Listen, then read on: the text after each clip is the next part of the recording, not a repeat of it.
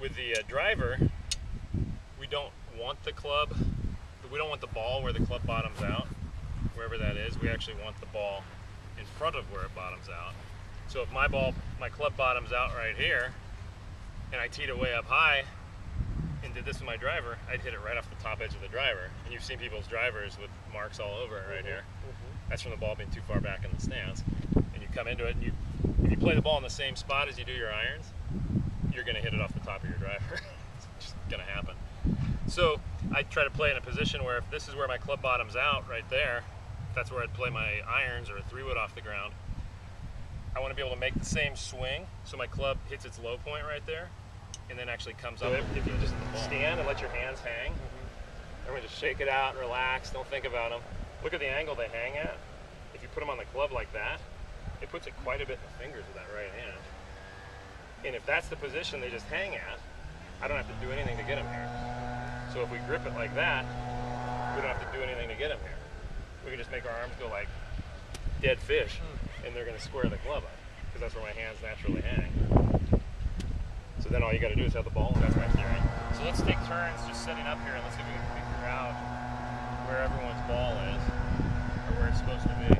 This is a big part of consistent ball striking, is just figuring out where in your stance you want to play the if. Our knee flex stays the same, and our spine angle stays the same, the club's going to touch the ground.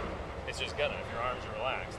So knee flex and spine angle, that's all you really have to worry about, and you're gonna brush the ground everywhere. When we swing, right about here, most people's brain go, that's not far enough. I gotta swing farther, but your body's restricting you, what, what do you do? You straighten this leg, that gives you a little more, and then you stand up. You're not doing it like that, but you're popping up a little, which means now on the downswing, you gotta dive down at the ground. You get back to where you started, where if you just, that stays and this stays, we're just turning and turning.